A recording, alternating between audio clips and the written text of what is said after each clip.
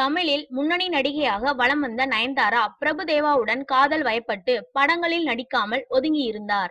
இந்நிலையில் பிரபுதேவாவுடனான காதல் முறிவுக்கு பின்னர் மீண்டும் தமிழ் சினிமாவில் நடிக்க ஆரம்பித்தார். தற்போது கைவசம் பல படங்களை வைத்திருக்கும் நயன்தாரா ஜெயம் ரவி நடிக்கும் தனி ஒருவன் படத்திலும் நடித்து வருகிறார். இப்படத்தில் நயன்தாராவுக்கு லேடி ஐபிஎஸ் ஆபீசர் வேடமாம். இதற்காக முதன் முறையாக காக்கி உடை அணிந்து இப்படத்தில் நடிக்கவிருக்கிறார். அது மட்டும் இல்லாமல் இப்படத்தில் குதிரை சவாரி செய்யவும் பயிற்சி எடுத்து வருகிறாராம். கனிவருவன் படத்தை ஜெயம் ரவியின் அண்ணன் ஜெயம் ராஜா இயக்கி வருகிறார். அரவிந்த் சாமி இப்படத்தில் வில்லன் வேடத்தில் நடிக்கிறார். இப்படத்தை ஜனவரியில் வெளியிட முடிவு செய்துள்ளனர். ஏஜிஎஸ் நிறுவனம் பிரம்மாண்டமாக தயாரிக்கும் இப்படத்திற்கு தேவிஸ்ரீ பிரசாத் இசையமைக்கிறார்.